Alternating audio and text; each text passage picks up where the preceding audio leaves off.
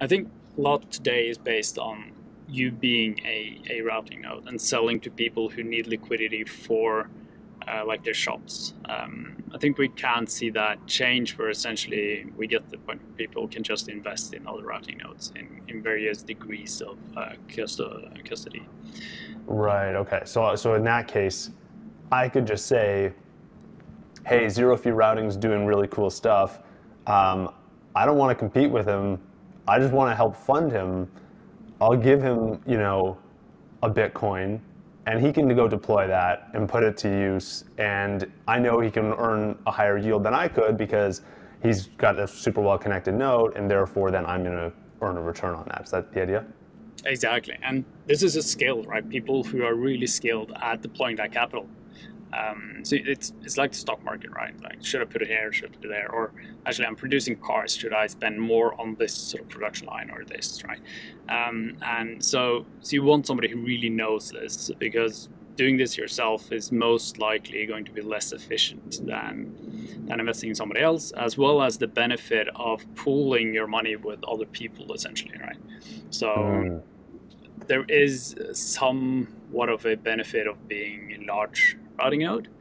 Um, so that will probably happen where you have a uh, smaller set of really large nodes serving um, a lot of um, different markets. And I think we're going to see this sort of different level of routing nodes targeting large sort of players and then some targeting smaller uh, shops and, and all that throughout this market.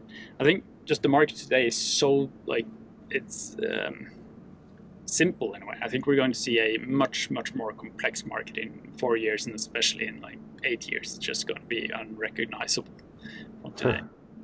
That's a fascinating idea that you're you can invest in the skill of routing node operators. Like it's it's similar in a way to uh, being able to invest in a fund, or if I see a great investor I can say, hey, will you take my money and just put it to work for me? But there's so many restrictions on that today. Like, for example, I can't just go to Warren Buffett and be like, hey, here, Warren, take my money and put it to work. I, I could, I could through Berkshire Hathaway, um, but before that came to market, if I had identified Warren as a smart guy before he built it, um, I can't do anything about that. Uh, there's, there's private funds today, there's hedge funds that I can't, I can't invest in directly.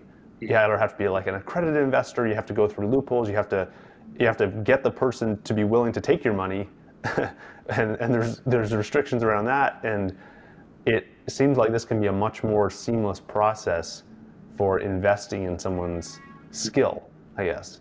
Yeah, exactly. And if we can get to the point where there is less trust involved, like a lot of the um, regulation in the financial market today is based on the need for trust, right? um, to protect investors and, and uh, consumers from investing in uh, bad actors. Um, so yeah, like we can do that today custodially, um, and making it at least more efficient to, to do non-custodial is, is beneficial as well. But yeah, this is exactly like this will I think it will become like investing in a in a fund, um, and you can you can see that if if you want to do that, if if investors, professional investors especially, is going to invest in routing nodes, you need a tool, and they expect you to have a tool that lets you essentially just show them what's going on, like print report, like. Um, yeah, you can tell them actively what's going on, and it's much harder if you're sitting there with a command line or, and um, Microsoft Excel and, and building sort of these these things through yeah, ad hoc tools. Um, so this again is why we're building targets towards that future where there is a much more professional market.